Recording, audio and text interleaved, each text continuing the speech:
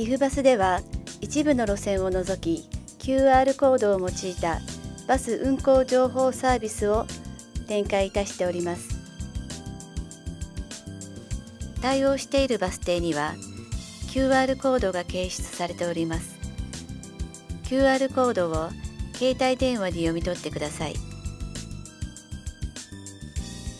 読み取りを行うと携帯電話のホームページ上でリアルタイムで運行状況を確認することが可能です。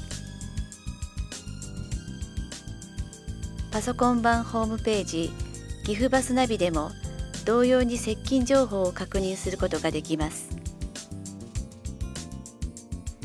JR 岐阜名鉄岐阜市内主要バス停ではバス停に接近情報を表示しております。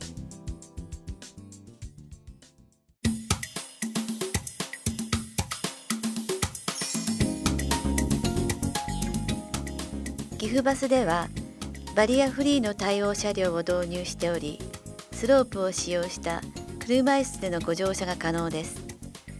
対応車両については前方に車椅子マークがついております。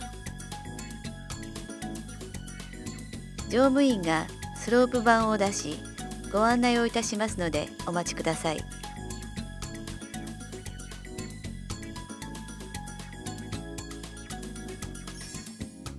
車内で車椅子マークがついている場所は車椅子で利用されるお客様の専用位置となります。車椅子でご利用されるお客様がお見えになった場合席をお譲りください。乗務員が専用位置でベルト固定などを行います。走行中は安全のため手すりにおつかまりください。